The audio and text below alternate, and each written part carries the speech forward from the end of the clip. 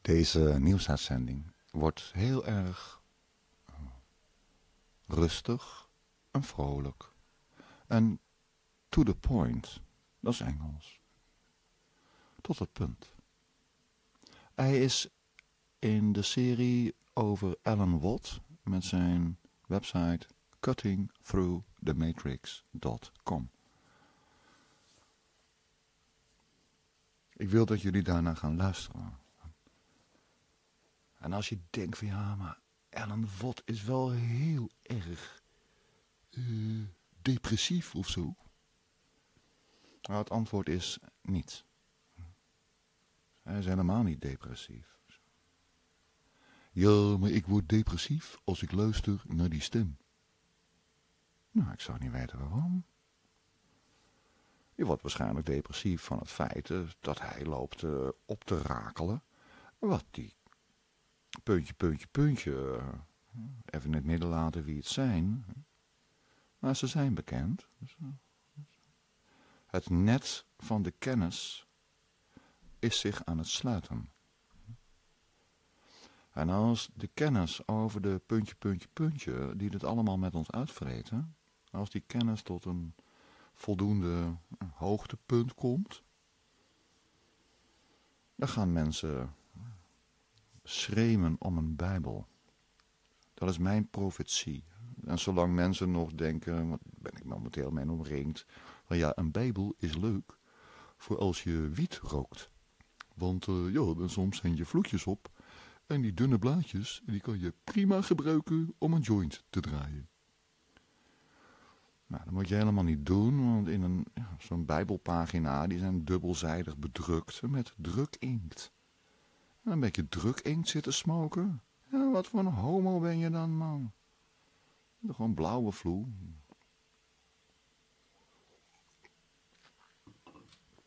Bijbelpagina's oproken. En het is gebeurd hoor.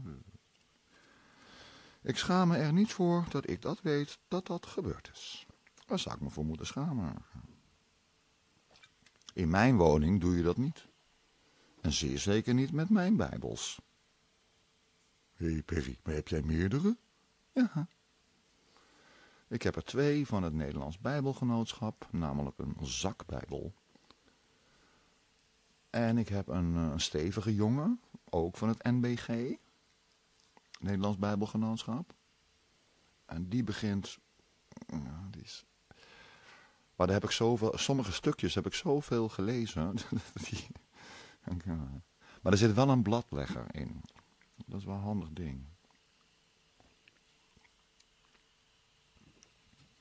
En ik heb een, eh, een King James uit 1611. De, de originaal, zo zullen die Duitsers zeggen. Hè? De originaal uit 1611. Die heb ik ook. Niet, uh, nee, nee, nee, nee, nee. Niet dat boek wat toen gemaakt is. Homo. Nee, maar de originele tekst. En dan vers gedrukt. Een hele mooie uitgave. Met een zacht leren kaft. Ja, zie je wel, dus de Bijbel, dat is zielig voor koeien. Want er worden koeien afgeslacht en dan maken ze daar leer van en dan maken ze bijbels van. Dus de hele bio-industrie komt van de koeien. Door de Bijbel dus. Nee, zo is het niet. Uh, mensen die, ja, ik zit maar net even als Ellen Wolt een beetje door te Het zit met de vleesindustrie zo, het gaat om, die, om, de inhoud van de koe. En die koeienhuiden, ja, die hou je over. Ja. En wat moet je ermee?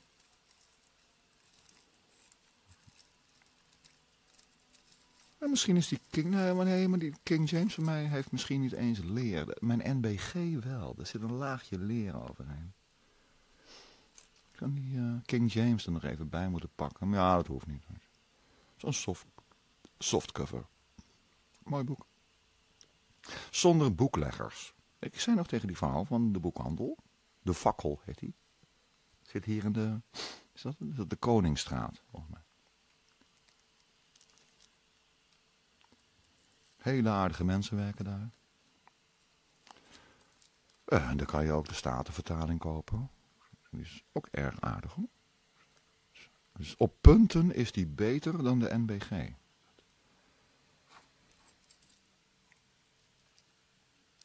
Want het gaat om het originele Engels. Snap je?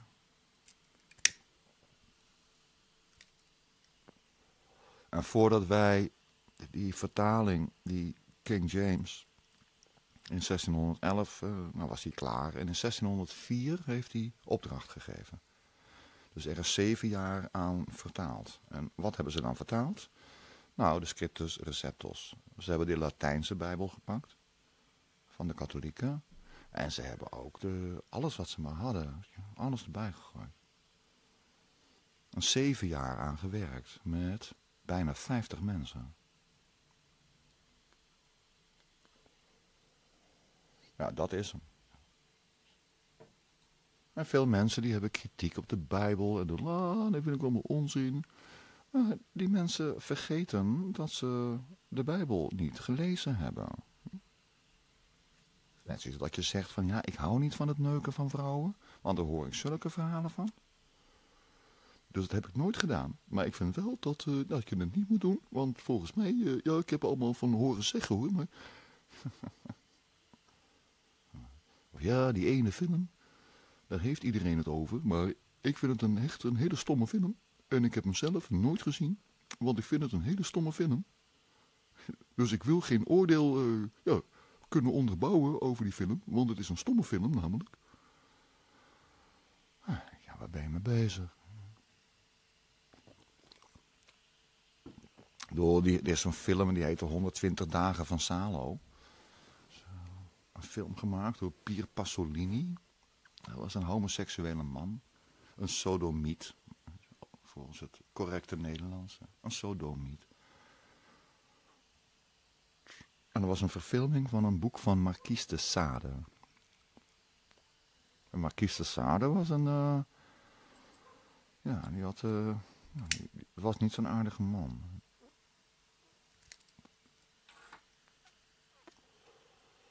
Die hebben ze opgesloten in een psychiatrische inrichting. Waarop die man dacht van ja, het maakt mij niet uit waar ik zit. Dan ga ik in de psychiatrische inrichting wel lekker door. Dan heeft hij orgieën gedaan. Man. Aparte man, die uh, Marquis de Sade. Daar komt het woord sadisme vandaan. Uh, Graaf Mazog en Marquis de Sade.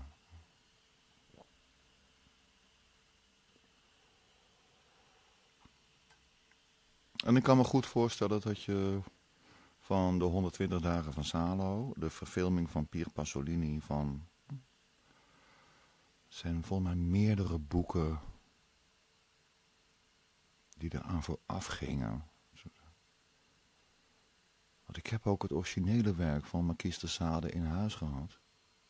En weggegooid hoor. Dat is niet te lezen man. Vieze schrijfsels, meer niet. Net als 50 tinten grijs. Ik snap niet dat mensen dat kunnen lezen. Hoor. Het was toen een leeshit. En een kennis van mij, waarvan ik dacht dat het mijn vriendin zou zijn. Of ja, zou voorstellen. In de vriendelijke zin, in de familiezin. Ik hoefde geen seks met haar. Die had alle drie de delen gekocht. Jeetje.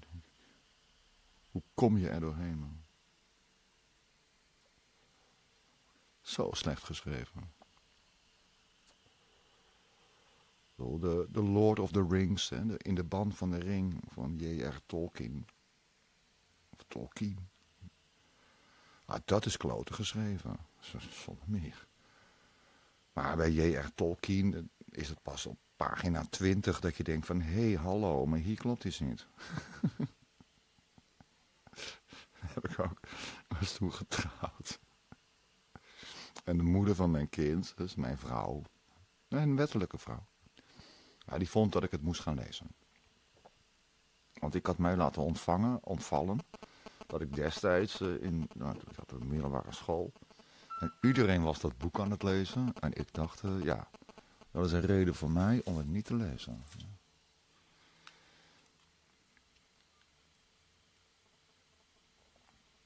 Wacht, ik krijg een hele leuke reactie binnen. Oh, wat leuk. Even kijken of het positief is.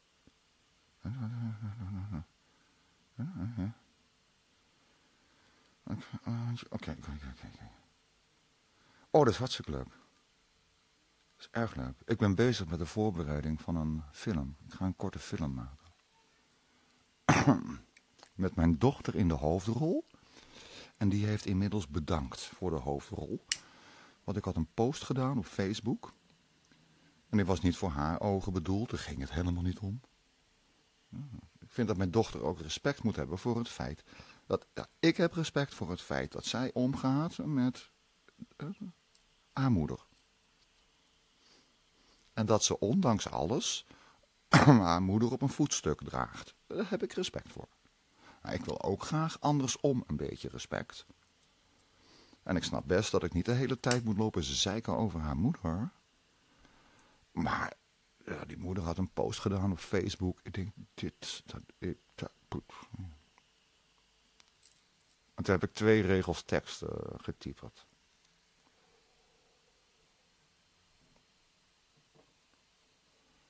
That's it. Ja, mijn dochter boos. Ja, ik kies geen partij, maar ik ga de hoofdrol niet spelen in die film van jou. Ja, oké, dat is best kut. Het is ook best kut om je bij een tegenslag... Uh, ja. Dus ik, oh, nou hou ik ermee op. Dus we gaan lekker door.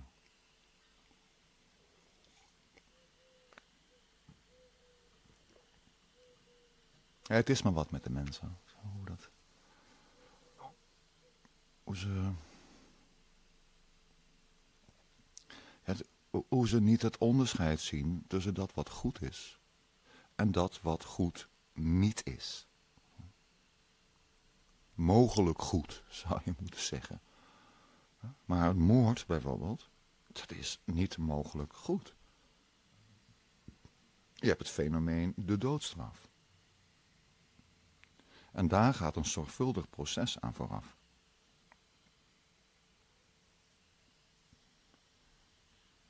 Ik weet dat het geval was uh, een jaar of vijf geleden.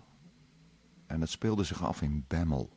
Of een, dorp daar in de buurt. Dat is tussen Arnhem en Nijmegen in en dan iets naar het oosten toe.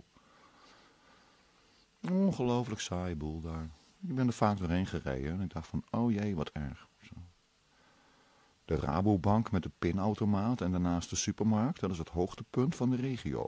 Ja, je zal er maar uh, moeten opgroeien.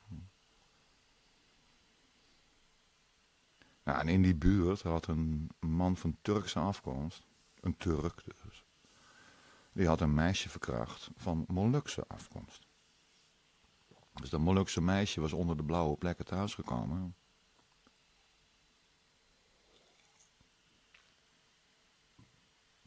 En die is ondervraagd. En reken maar dat die Molukkers, die leven volgens Adat, de wet heet dat. En oudere mensen hebben een zegje. Hè? Dus dat meisje is ondervraagd. Heb je die jongen uitgedaagd? Wat heb je gedaan? Heb je wel moord en brand geschreeuwd? Nou, het meisje kon zeggen, ja, dat heb ik allemaal gedaan. Ik heb hem niet uitgelokt. Het ging me er helemaal niet om. Maar ik was op weg naar huis en net als Marianne Vaatstra ben ik besprongen. Oh, oh. Fiets omvergeduwd, whatever, ik weet de omstandigheden niet.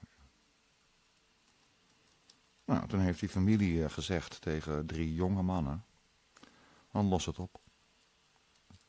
Als je ermee naar de politie gaat, dan kan je wel doen, maar je hebt geen poot om op te staan. Dat wordt, een langdurig ding. En dan krijgt hij 43 uur werkstraf. Dan moet hij portiek schoonmaken. Of eentjes voeren bij de kinderboerderij. Dus die Molukse familie heeft er drie aangewezen. Nou, het is ingepland. En eentje, dat was de jongste, dacht ik. En die was ook het meeste uh, qua familieverbintenis. Hij was de achterneef of zo. En die andere twee, dat waren broers van haar. Of een broer en een volle neef.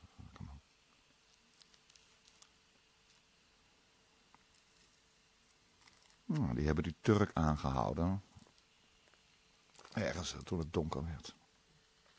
En ondervraagd. Van wij hebben dit gehoord. En wat is jouw verhaal? Toen kwam er allemaal onzin uit die Turk. En toen hebben ze hem vermoord. Is dat goed? Nou, ja. Het is een grensgeval. Maar voor de rest mag je niet moorden. Wat de NATO, wat de internationale vredesmacht doet. Dan zijn ze bezig om eh, de Taliban te bombarderen. En dan hebben ze een bruiloftspartij geraakt. Ja. Nou, dat is niet goed.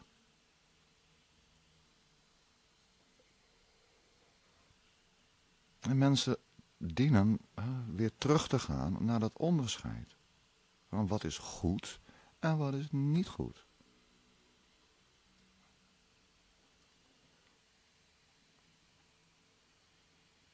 En ik sprak nog een andere vriend van mij. Die komt ook uit, dat is ook Molux. En zijn moeder is Duits. Zo. Of was het nou andersom? Maar zwaar Molux. Een hele strakke jongen. En ik zei dus tegen hem van, nou, dat is een mooie boel. Heb je het gehoord in Bemmel? Hij zei, ja, daar weet ik van. Ik zei, ja. Maar die drie mensen die zijn gearresteerd en die zitten nou in de gevangenis. En wat hebben ze fout gedaan? Nou, hij zal lachen. Nou, ze hebben helemaal niks fout gedaan. Ik zei, nee, dat lijkt mij ook. Je, je mag toch niet zomaar een meisje verkrachten? Wat is dat nou?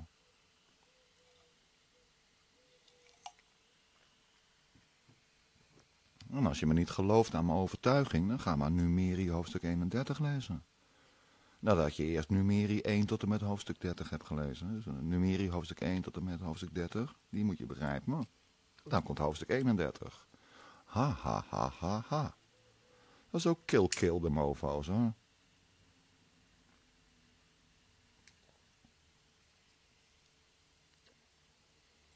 En het probleem zou opgelost zijn als wij een Nederlandse overheid hadden die in zo'n geval onmiddellijk ingrijpt. En naar die familie luistert. Met de verkrachte dochter. Ja?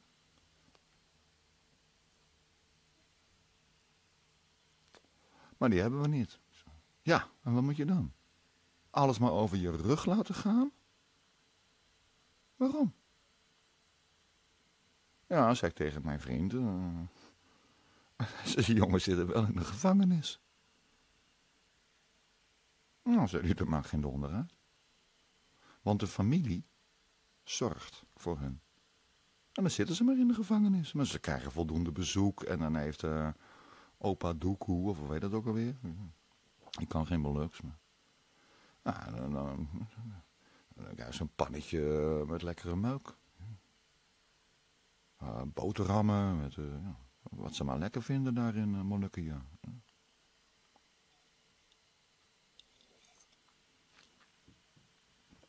En die jongens komen toch wel vrij. Wat moeten ze doen? Zes jaar of zo. Nou, dan zijn ze zes jaar lang verzorgd door de familie.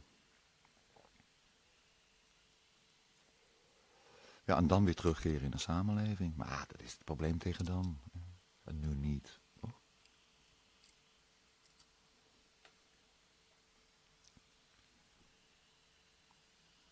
En die helderheid, daar moeten wij naar terug.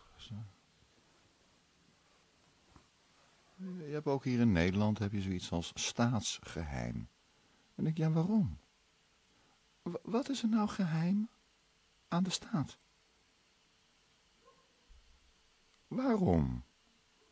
Ja, want uh, kijk, uh, de Russen, die zitten ons te bespioneren en je kent de Russen wel en oh, je snapt wel, dat moeten we niet hebben. Nou, punt 1, eh, de Russen die ik ken, dat zijn allemaal hele aardige jongens. Daar heb ik helemaal geen moeite mee. Nee, die ik in het echt heb gezien, hè. Ik denk, oké, okay, uh, Roeski, oh, Roeski, ja, mooi zo. En die Russen die praten ook een beetje Engels. Nou, dan komen we er toch wel uit. Ze kunnen schaken. Nou, mooi zo, hier. Oké, ik ben Nederlander, hij is een Rus. Nou, zet, zet hem maar op. Doe mij maar zwart. Vind ik wel leuk om mee te spelen. Serieus, ik vind het echt leuk om met zwart te spelen. Heel erg. Hmm. Ah, goed, ik ga het niet over schaken hebben. Maar ik vind het leuk om te doen. Staatsgeheim. Ga er weg. Eh, George, even kan ik zeggen, George H.W. Dus George Herbert Walker Bush. Dat is de vader van George Walker Bush. En George Walker Bush, die heeft nog die geweldige... Dat zijn grappenmakers hoor. Uh, die, die George Walker Bush, die was van de, de Tweede Irak-oorlog. Was het toch? En dan ging het over die massavernietigingswapens. En dan vroeg een, zo'n journalist tijdens een persconferentie van ja, waar zijn ze nou? die kleine dan, hè? Was de kleine zoon, by the way. En, en die kleine, die, die, pakte zo met zijn twee handen die kanselbeet waar die achter stond. En die ging hij helemaal naar rechts buigen. En dan zei hij, ja, nee, nee, hier liggen ze niet. En dan ging hij helemaal naar links buigen. En zei, nee, hier liggen ze ook niet. En dan ging hij naar onder en zei, hier kan ik ze ook niet vinden. Volgende vraag, alstublieft. Als je het, heel veel mensen hebben erom moeten lachen. Van, oh, wat een clown is die uh, George Walker Bush. Hè? Die George W. George W. Oftewel W. Ja, ik vind het wel een hele grappige president. Nee, ik helemaal niet. Is een stomme president. En zijn vader die heeft een, een biografie laten schrijven. Dus meneer kon het niet eens zelf doen, ben jij maf. Die heeft hem van een lekker mokkel uh, eh, 5000 dollar betaald. Van, uh, kom jij maar even lekker langs. En dan krijg je thee en dan mag je overnachten. En dan mag je mee eten met het personeel. En dan ga je maar lekker opschrijven wat mijn leven was. En die heeft dat meisje of die jonge vrouw laten opschrijven. Want het is maar goed dat het Amerikaanse volk niet weet wat wij uitgefroten hebben. Want zowel dan waren we gelyncht. En een lynchpartij, dan weet je wel wat het is. Hè?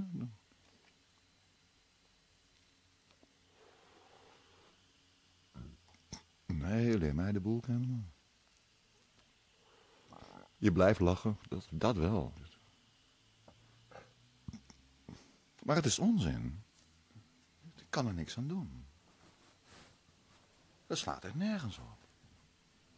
En daar zijn die staatsgeheimen voor. Want als wij erachter zouden komen uh, hoe de Vietnamoorlog in elkaar zat en hoe wij meegetekend hebben, en dan, dan sleuren wij Jan-Peter Rutte of Mark Ellende, hoe heet het die? Moet je het nou klootzakken noemen? Of dombo's?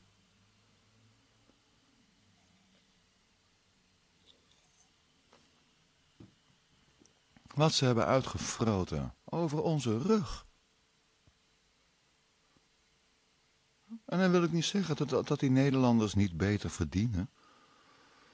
Of wel beter verdienen. Of misschien verdienen wij wel helemaal niet beter. Weet ik veel. Maar het blijft nog steeds kloten.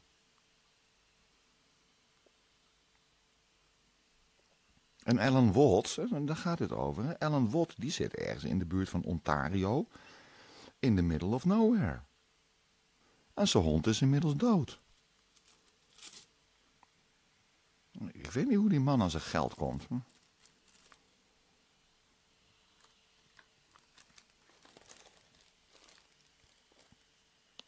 Maar die zit lekker in zijn eentje.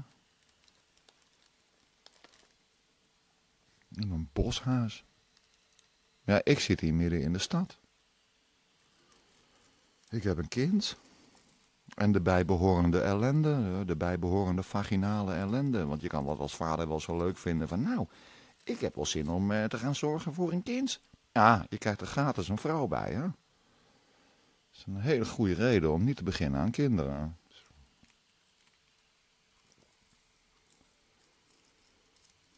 Ze pikken je kind af en uh, maken er een of ander monster van. Ja, wij vrouwen, wij hebben heel goed gekeken naar al het werk van Edward Bernays. En als je wil weten wie Edward Bernays is, dan moet je naar Alan Watt gaan luisteren.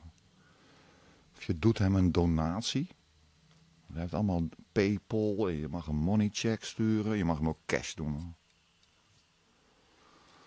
Stuur Alan Watt 50 euro. Die weet hij wel te verzilveren in dollars. Canadese dollars, denk ik. Hè?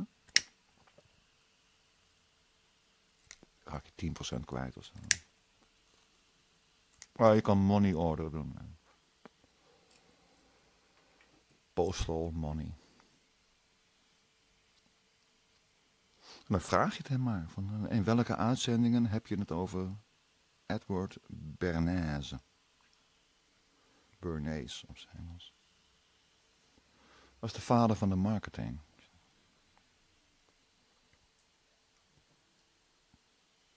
En iedereen laat zich daardoor leiden.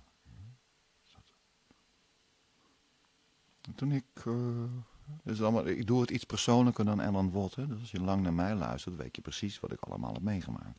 Ellen Watt bespreekt alleen de algemene kennis. Dat kan je leren van het Koninklijk Instituut van de Internationale Betrekkingen. De Royal Institute of International Affairs. En van uh, het Concilie van de Buitenlandse Relaties. De Council on Foreign Relations. En wat die ongelofelijke dombo's hebben uitgevroten.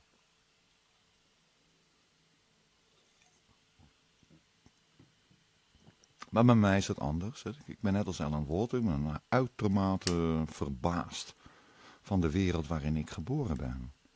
Ik denk, ja, maar dit was de afspraak niet. Tenminste, niet, ik heb daar niet op meegetekend. En ik ben eigendom van de Nederlandse staat. Ja, wat, wat, wat F? Hoezo? Uh, mijn lichaam is van mij. Punt 1. En als ik stout heb gedaan, of ik heb een enorme schuld opgewekt, of whatever, veroorzaakt, ja, dan ben ik je slaaf. Dat lijkt me wel. Je mag niet zomaar van alles proberen uit de portemonnee van een ander. Dat kan niet. Maar voor de rest ben ik eigenaar van mijn lichaam. Dus als mijn banksaldo nog positief staat, en ik ben goed voor mijn toekomstige aflossingen, betalingen, dan ben ik jouw slaaf niet. Meer af. En jullie moeten dat ook niet zijn. Dus de volgende vaccinatieronde, dat is ook zo'n heel hot onderwerp van Alan Watt. En dat moet je helemaal niet doen. Je bent gek als je het doet.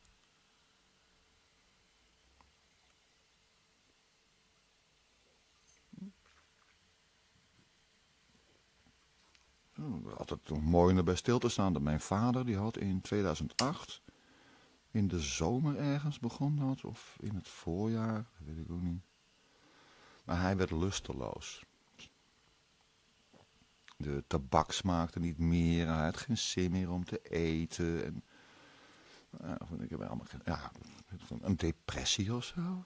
Maar dan ook lichamelijk, hè, dat hij, hij kon zijn bed niet meer uitkomen. Dus hij naar de dokter. Ja, ik voel me een beetje ja, onbeduidend, eh, on, nee, onaangeduid. Ik weet niet precies wat er nou aan de hand is, maar ik ben moe en nee, ik heb geen zin in eten. Eh. En de tabak smaakt niet meer. Koffie heb ik geen zin meer in. Het interesseert me allemaal niks meer. Nou, zei de dokter, dan gaat u maar voor onderzoek naar Harderwijk. En toen moest hij voor onderzoek naar het AMC, Amsterdams Medisch Centrum. En nu heet het Amsterdams, Amsterdam UMC, dus Amsterdam Universitair Medisch Centrum, denk ik dan. Of het was een typfout van de journalist eh, waarvan ik het artikel las. Nou, daar, hij naar daar naartoe. Ja, en de diagnoses die ze gesteld hadden, die varieerden van, ja letterlijk, het was eerst beenmergkanker. Dus mijn vader schrok zich helemaal kapot. Maar toen was het ha, ha, ha, ha, ha. U heeft het toch niet. Oh, dacht mijn vader, dat is mooi. Ja, u heeft de ziekte van Crohn. Dacht mijn vader, oh kut. Heb ik dat weer? En toen was het ha, ha, ha, ha, ha. Het was een grapje. U heeft helemaal geen ziekte van Crohn. En zijn oudste zus, mijn tante, die had dat in de gaten. En die zat helemaal tanden te knarsen. Waar zijn die lui mee bezig? Wat zijn er van diagnoses? Mijn vader een beetje aan het schrikken maken met... Uh, u heeft de allerergste ziekte verzonnen sinds Aristoteles. Ja, buckle up, want it's gonna be a hard time. En hem op nergens gebaseerd. Een beetje proefjes doen. En trekken ze wat bloed uit je. Of wat lymfevocht. Of whatever. En dan spuiten ze dan in een reageerbuis. Allemaal heel steriel. En dan, doen ze mee, een product X1300C versie 3 doen ze erbij. En dan gaan ze UV-lichten doorheen doen. En dan gaan ze kijken in de mate waarin... Bla bla bla bla bla. Kortom, geouwe hoer in de ruimte. Nou, dat was het allemaal niet. En toen kregen die luider de pest in, want ze dachten van ja, eh, meneer Winkel, de vader van Perry Winkel, daar dachten we even lekker aan te gunnen aan verdienen. En dan blijkt hij uh, dat wij geen diagnose kunnen stellen. Ja, maar daar gaan we niet mee akkoord. En mijn vader was inmiddels weer opgeknapt, hè. Uh, ja, de koffie smaakte weer. En dan was weer s'morgens om zes uur opstaan. En een kopje koffie. En een zware check roken. even gaan wandelen met de hond. Een beetje leuk krauw-krauw doen tegen de papegaai, want hij had een grijze roodstaart. Toch? Ja, zoiets.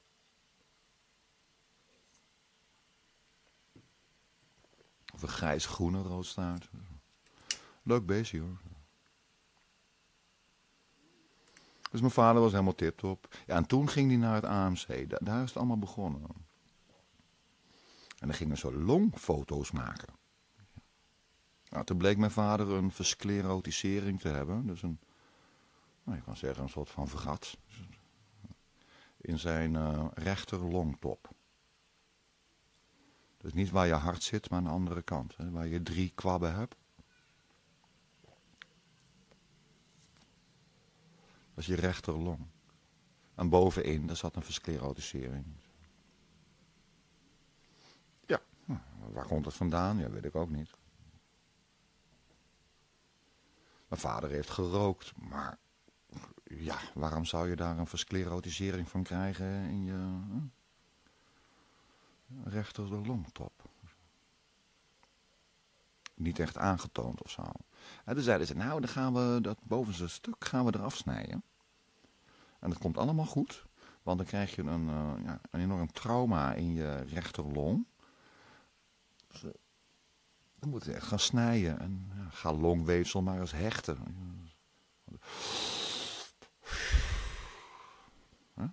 je moet weten hoe dat uitzet. Ja, maar dan gaan we uw rechterlong, eh, die gaan we afknijpen. Dus je hebt even uit je longpijp. Gaat er een pijpje naar links, naar je linkerlong, waar je hart zit. Waar je maar twee kwabben hebt. En die gaat een pijpje naar rechts, waar je rechterlong zit. Dan heb je drie kwabben. Nou, die pijp naar rechts, die zouden ze even, even tie wrappen. Net zolang totdat die wond genezen zou zijn. En dan zou mijn vader in die herstelperiode kunnen ademen met zijn linkerlong. Ja, dat is een goed idee. Behalve dat mijn vader een infectie kreeg met MRSA. Zo'n ziekenhuisbacterie. Ja, daar hadden die witte jassen, de jokers, eh, even geen rekening mee gehouden. Ja, toen was mijn vader dood. Uh, hij heeft nog een tijdje mogen puffen en zuchten op de intensive care. En helemaal onder de morfine en allemaal. Doen ze er toch antibioticum in, terwijl dat nergens op slaat. Want die MRSA in dat ziekenhuis, die is zo resistent man. Als de katholieke kerk. Die kan overal tegen. Mhm. En toen was hij dat. Yes, so be it. Dat is die fijne allopathie. Met een vaccinaties. Ja, ga toch weg. Mijn tante, die, waar ik het net over had, de oudste zus van mijn vader, die heeft haar hele leven gewerkt als chemisch analist. En toen was ik, mijn dochter, die, die werd dan verzocht, en wij werden verzocht om onze dochter te laten injecteren met van alles en nog wat. En gelukkig was ik in die dagen al een beetje alert. Ik denk van ja, wat zit erin? Nou, dan ga je een beetje speuren op internet en dan blijkt daar timerosal in te zitten. En timerosal, dat is organisch kwik. En kwik is een metaal. Een zwaar metaal. Mooi zo. Heel geleidend. Elektrisch geleidend. Op de verkeerde manier natuurlijk. Want in jouw lichaam hoort geen kwik. En organisch kwik is bij lage dosis gevaarlijk, jongen. Ik vraag aan mijn tante, maar ja, stoppen ze of thiomerosal of timerosal? Doen ze dat erin? Ja, zei mijn tante. Dat moet wel. Ik zeg, hoezo? Nou, zei mijn tante. Uh, kijk, timerosal is een biocide. En dat vermoordt al het levende wat er maar is. En zo houden wij de inhoud van het vaccin vrij van niet alleen schimmels. Het is niet een anti... Uh, weer een schimmel. Maar goed, het is niet een anti-huppeltje pup. Nee, uh, timerosal is biocide.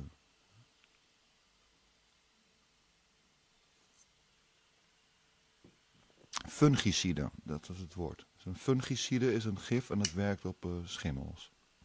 Fungus, fungi. Ja, biocide, ja, dat werkt op alles wat maar leeft. Ja, want de inhoud van het vaccin, dat is uh, bederfelijk. Je krijgt wel het conserveringsmiddel naar binnen. En ik vraag aan mijn tante, van, klopt het dat ze ook squaleen erin stoppen? Ja, zei ze. Dat is hetzelfde idee. Dat is ook een biocide. Oké. En daar laat je je mee injecteren? Ja, snorrie hoor, maar... Ben ik echt de enige die geeft om zijn eigen lichaam? Het hele gedoe met die vaccinaties, dat is, dat is verzonnen door een jezuïet ook nog een keer. En een jezuïet, dat, toch inmiddels weten, dat is de nieuwe wereldorde. Toen was er een uitbraak van pokken en toen hebben ze mensen geïnjecteerd met het vocht van pokken die op koeien zaten. Je koeien pokken. Er werden mensen geïnjecteerd met uh, koeienpokken.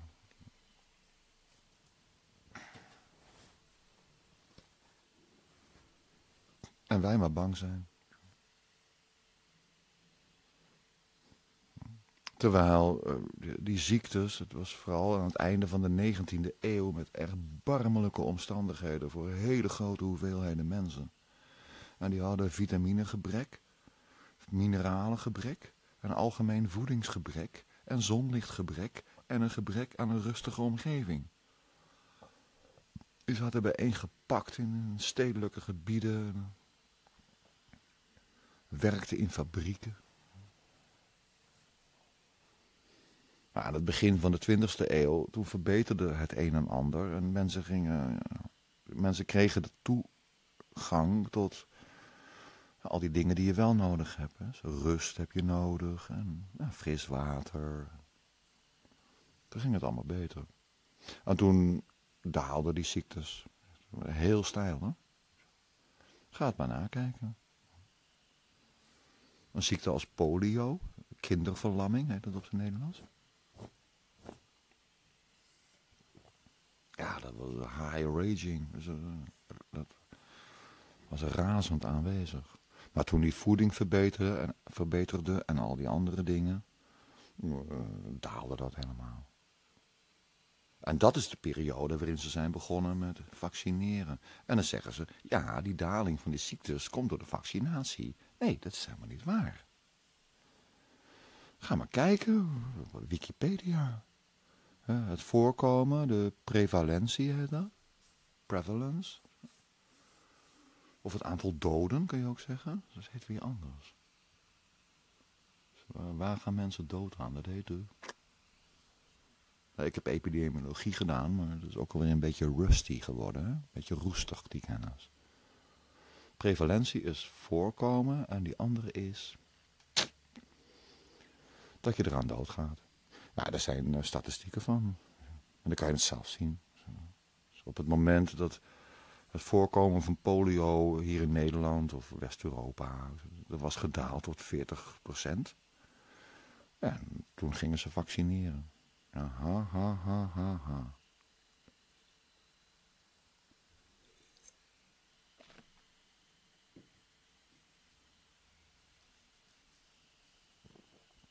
Nee, dat is een mooie boel. Dat is,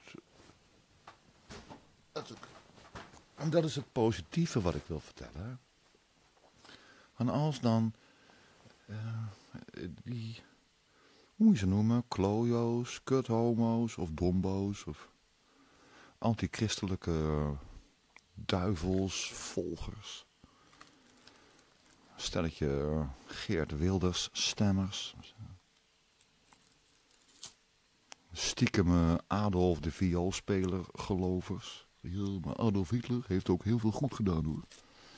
Nee, Adolf Hitler heeft heel Duitsland uh, onderworpen aan de paus. En dat laatste, dat zal... Uh, dat zal Ellen Watt niet zo snel zeggen. Die is er nog niet helemaal uit, denk ik.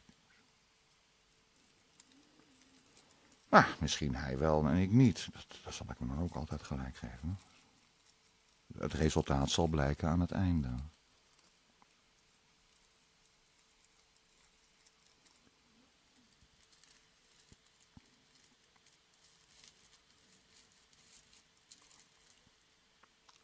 Dat komt nog wel.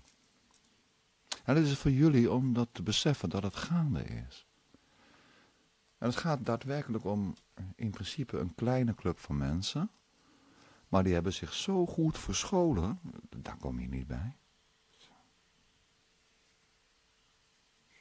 Hun hoofdkwartier is het gebied in Europa wat neutraal bleef tijdens de Tweede Wereldoorlog.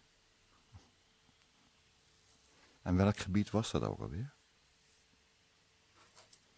Zwitserland is dat. Maar Zwitserland is strategisch heel makkelijk te verdedigen. Maak maar even, ga maar kijken op, op maps.google met hoe je Zwitserland binnenkomt. Dat kan via een aantal bergpassen en ze hebben één brug bij Bern. En het schijnt dat ze die, uh, die berggangen, die zitten vol met explosieven. Als je daar doorheen komt denderen met een legermacht of zo, dan is het één druk op de knop en een kaboom. Dan ligt de hele Heidelberger bergen of zo. Die Winterburgbergen. Die ligt boven op je kop. En dan kom je niet mee. Dat is het antwoord niet. Het antwoord, dat komt vanuit jezelf. Vanuit de persoonlijkheid. Uh, je persoon bedoel ik. Je, jouw persoonlijke leven. Wat doe je daarmee?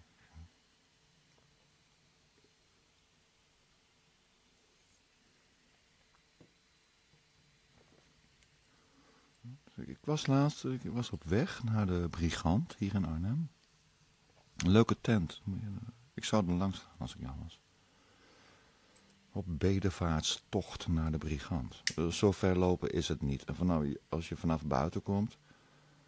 Want alle Arnhemmers die weten wel waar het ligt. Die hebben een fiets of zo. En je komt vanuit Westervoort. Als je vanuit Westervoort komt... dan zou ik uitstappen bij het Velperpoortstation.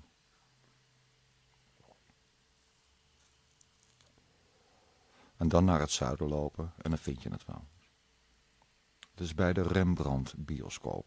Iedere, iedereen op straat kan je vertellen waar het ligt. Dus echt niet moeilijk.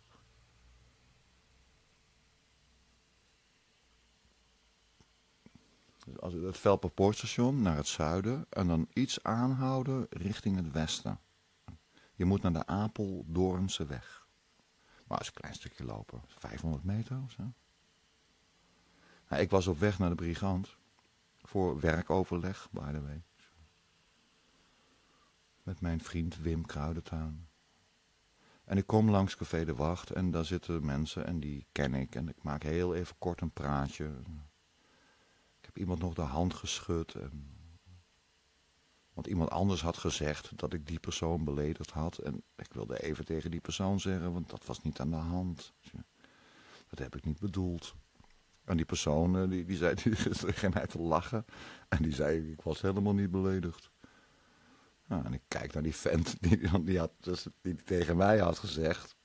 Want hij was beledigd. Ik kijk naar die vent met een glimlach. En dan geef ik knipoog. Ik zeg, nou, dit probleem is voor mij. Hm. Ik heb hem helemaal niet beledigd. Maar er was nog iemand en die zwaaide naar mij. En die wilde misschien ook een praatje. Daar heb ik tegen gezegd van... Uh, ik ben op weg naar de brigant. Dus ik kom niet zitten op het terras. Dus ik loop door. En dan roept er iemand anders heel luid. Mooi zo. Dan denk ik van zijn vent, waar ben je mee bezig, jongen? Ik weet dat hij mijn bloed wel kan drinken. Dat weet ik. Waarom, weet ik niet. Dat is geen flauw idee. Ik heb die man nooit persoonlijk beledigend grof toegesproken. Ik zou niet weten wanneer.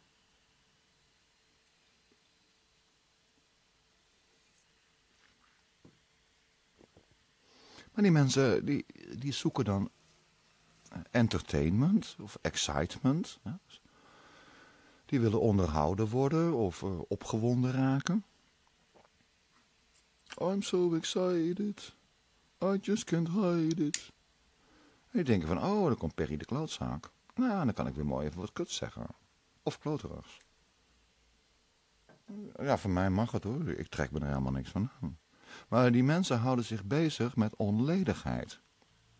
En dat gaat hun de kop kosten.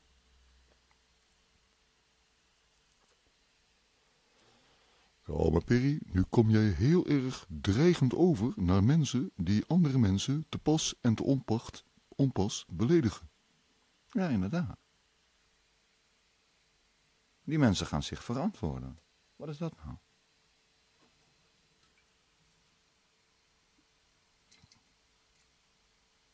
Kijk, als jij een, als jij een tv bent en je hebt het hartstikke goed gedaan en die oude vrouw die jou had, jou, hè, jouw tv had, die gaat overlijden. Dan behoort die tv, die het het hele leven goed heeft gedaan, behoort tot de erfenis. Als jij een tv was van een oude vrouw, die al na drie jaar... Dan moet je er een klap bovenop geven en dan deed hij het weer, maar ook maar voor zoveel maanden. Nou, die oude vrouw die dacht, nou, nou dan maar geen tv. En die vrouw die gaat overlijden. Dan hoort die kapotte tv niet tot de erfenis. Of wel? Jawel, voor de onderdelen. Dan gaat er weg.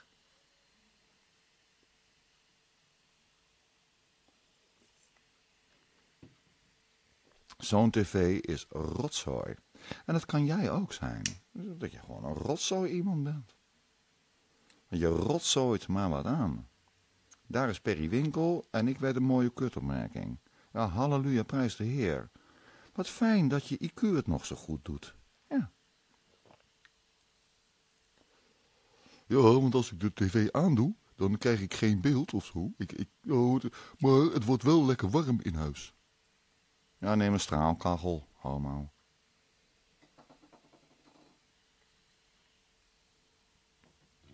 Maar daar heb je geen tv voor nodig. Dus, uh, een beetje straalkachel is makkelijker uh, te versjouwen dan een tv. En ik klets nu niet uit mijn nek. Ik probeer om uh, de metafysica, dat is geen religie of zo. Het is een besef van wie jij bent. En waar je bent. Dat is de metafysica. En hou je eigen leven in de gaten. Klootzak. Kut homo. Het ligt er een beetje aan of je mannetje of vrouwtje bent. En als je een vrouwtje bent en je wil liever klootzak genoemd worden, nou dan ben jij de klootzak. Als een man zegt, ja ik wil geen klootzak genoemd worden, nou dan ben jij de kut. Eh, ik kan het niet harder stellen. Jij hebt het zelf te doen. In je persoonlijke leven. Ja, maar wat moet ik dan doen, o heer Perry? Nou, punt 1, ik ben je heer niet. Totdat ik van jou een uitkering krijg. Dus als je mij 5000 euro, euro in de maand betaalt, dan wil ik je heer wel zijn hoor. Geen enkel probleem. Dan ben ik waarschijnlijk je allerliefste heer die je ooit gehad hebt. Want voor 5000 euro in de maand heb je een partij dankbaarheid, jongen. Wauw.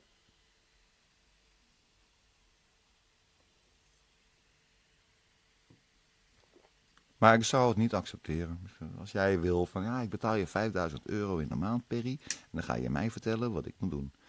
Dan zou ik zeggen, nou, laat mijn geld maar zitten. Want dat kan ik helemaal niet. Dat weet ik ook niet. Ik kan een studie maken van je jeugd. En een, een anamnese heet dat. Een vraaggesprek. Dus een overhoor... Nee, een onder, ondervraging. Zou ik zeggen. Ga ik je ondervragen? Ja. Nou, wat komt eruit? Nee, ik, wil dat geld niet. Ik, ik, wil geen geld voor niet bewezen diensten. Dus je moet het maar lekker zelf gaan uitzoeken. En dat is erg belangrijk. Dat jij zelf, ook al ben je nog maar zo klein, zo onmachtig. Kijk goed naar die mensen in jouw omgeving. Maak onderscheid tussen je naasten en je vijanden. En daarmee wordt bedoeld, dat is van Christos. Hè? Maar kijk eens naar die film The Matrix, nog een keer. Moet iedereen, denk, ik heb The Matrix, en dan gaat het om, ik heb ze alle drie altijd bekeken. Dus de Matrix 1, de Matrix 2 en de Matrix 3. 3. De Matrix 1, die heb ik drie keer bekeken. Of vier keer. En dan telkens weer nieuwe dingen zien. De Matrix 2 is, by the way, erg interessant. Als je weet waar je naar kijkt. Maar de Matrix 1, de, daar ben ik van overtuigd dat was ergens vanuit de grassroot of zo. Het is erg mooi hoor. De Matrix 1, de eerste. Hè? Met Neo. Hmm. Met uh, Neo toen hij nog geen Neo was. Het is geweldig. Het Oracle. En daarin wordt gezegd tegen Neo van je moet goed begrijpen dat de mensen die in de matrix zitten, die zijn jouw vijand. Als jij met die, dat is in feite een verlichtingsmoment. Je bent tot het inzicht gekomen en dan kan je iedereen, iedereen ben je de baas. En die mensen die in de matrix zitten, die meelopers, die alles wel goed vinden. Die hebben, ja, ik krijg lekker, ik heb allemaal elektroden, zo en overal. Lekker joe, joe, joe, joe, joe. En ik lig heerlijk in mijn bedje. Dat zijn je vijanden.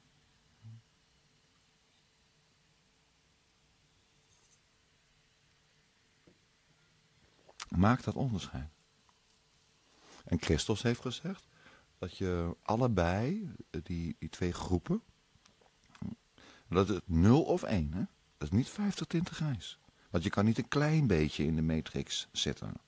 Je zit in de matrix, of je weet dat mensen in de matrix zitten. Dat is de, de these van die film. In plaats dat je alleen maar zit te kijken naar de titel van Trinity. Dat is een mooie vrouw, dat weet ik wel.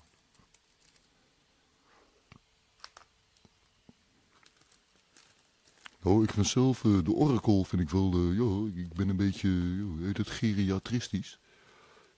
Ja, ja daar moet je dus niet naar kijken. Dat slaat nergens op. De Matrix is een heel, heel, heel goed samengesteld. Als je weet van hoe het zit met metafysica. Als je de metafysica begrijpt. Of dat je snapt dat, er, dat het begrijpen van een mens gaat zo ver, man.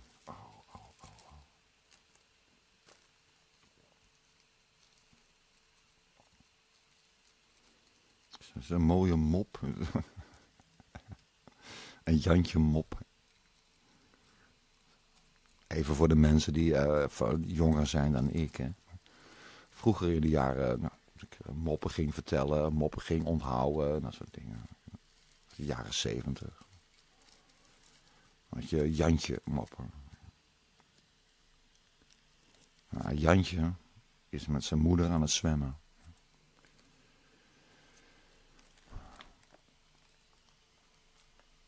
En Jantje vraagt aan zijn moeder...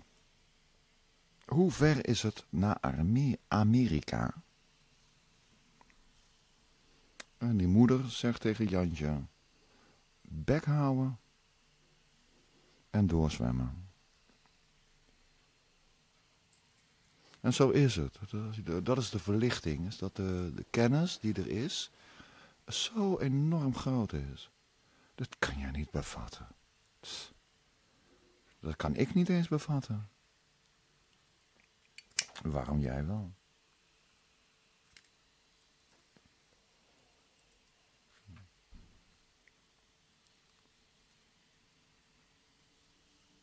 En jij als individu als atoom. Dus individu is Latijn en atoom is Grieks. Dat zijn twee verschillende letterconstituties, maar de intentie met een S, de inwendigheid van die twee woorden, is één en hetzelfde woord. En dat ben jij. Punt. Nou, ik ben liever geen atoom. Ik ben liever opgenomen in één groot kristal. En dan heet het maar communisme. Of de Geert Wilders uh, verdedigingspartij. Uh, maar daar hoor ik ergens bij. En dat vind ik veel prettiger. Ja, je mag wel ergens bij horen. Maar het feit blijft dat jij een individu bent. Die uit vrije keuze ergens bij hoort. Dat mag van mij toch? Waarom niet? Dan ga je bij de biljartvereniging. Alles stoten raak. Bij de Wilde Bond. heb je ook hier in Nederland. Die zijn niet verbonden aan een bond, maar ze kunnen wel heel goed biljarten. Nou, doe je dat toch lekker. Oh, je gaat volleyballen, pingpongen, badmintonnen, kano varen, upsiden. Dat mag wel, dat is helemaal geen probleem. Maar niet voor je zielenheil. Dus ik eis van jou, ijs zeg ik, hè? E-I-S. Jij wordt lid van de Huppeltje Pub Club, de Astronomie Club. elke maand dan, ga je met z'n allen naar een licht, een gebied zonder lichtverontreiniging. Dus geen lucht, maar licht. Zo'n hele mooie donkere plek. Allemaal een telescoop mee. En dan foto's maken.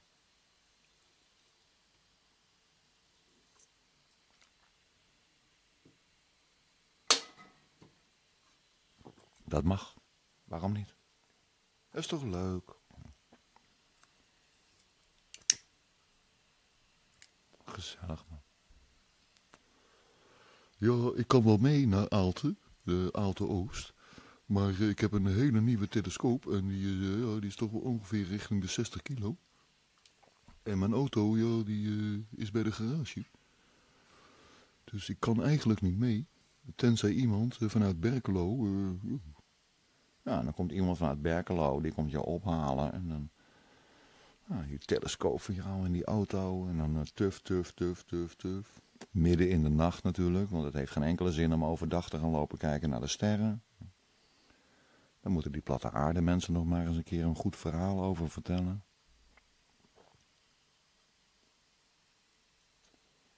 Dat is toch mooi, man. En jouw auto was kapot. Dus ja, de chauffeur die krijgt 2 à 3 à 4 Jägermeisters. Want je, je zit daar vier uur in zo'n weiland. Tegen de tijd dat die chauffeur weer naar huis moet gaan rijden, dan zijn die vier Jägermeisters die zijn al verwerkt. Dus, uh, één alcoholconsumptie per uur, dat, dat is het ongeveer. Als je, gewoon als je rustig drinkt, denk ik dat je 24 glazen per dag kan drinken. Alcoholconsumptie is alleen ja, 24 uur lang uh, bezig zijn. Dat komt de mensen ook weer niet toe. Hè?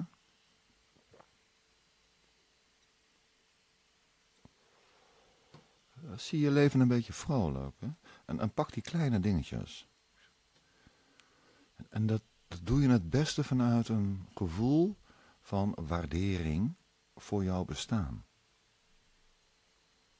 Dat je uit dankbaarheid, dat je denkt van wauw.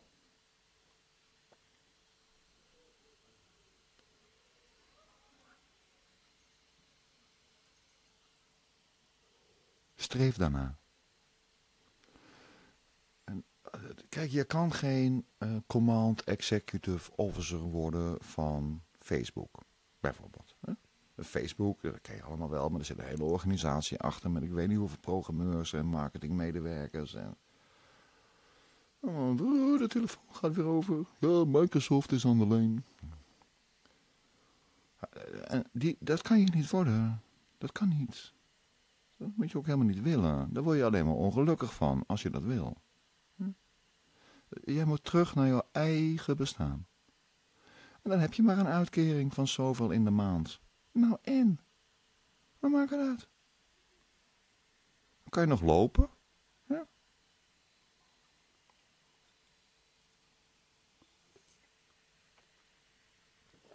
Hou goed, die, uh, hou goed in de gaten dat uh, de revolutie, of de Armageddon, zo in de Bijbel genoemd, die Armageddon komt. Wanneer weet ik niet. Dat is niet te voorspellen. Want dat weet ik zeker. Je kan de Armageddon niet voorspellen. Iedereen die beweert dat u dat wel kan, uh, Alan G. White is er eentje. Heeft dat boek geschreven, De Grote Controverse. Een hele belangrijke trinepie binnen de zevende dag Adventisten. Maar dat kan niet. Fysisch onmogelijk. Maar Armageddon komt eraan. En aan jou is de taak om die Armageddon te bespoedigen. Het mooiste verjaardagscadeau voor mij zou zijn dat ik sterf vlak na mijn verjaardag en dat voor mijn verjaardag de Armageddon begonnen is. Dat zou ik op prijs stellen. En misschien dat God dat ook wel leuk vindt. Van ja, ja, als Perry dat wil, nou ja, laten we maar doen. Maar daarvoor moeten wij zelf eerst beginnen. Wij kunnen alleen maar de boel onder druk zetten. De spanning veroorzaken. En dat doen wij door onze naasten lief te hebben. En dan daadwerkelijk lief hebben. Dat betekent tijd en aandacht. Van, oh, ik hou zoveel van jou, maar nu ga ik naar de stad, want ik ga een nieuwe onderbroek kopen. Ja, dat is geen liefde. Dat is geen tijd, dat is geen aandacht. Je hebt alleen maar gezegd, ik hou zoveel van jou. Ja.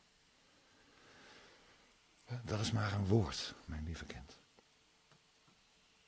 Nou, ik ga er nog een maken. Ik heb er helemaal zin in. En ik heb ook nog bier, dus uh, nou, waar maak ik me zorgen over? Dus dank jullie wel voor het luisteren. En op zijn hamburgers, zaak ik. Tjus. En dag lieverds.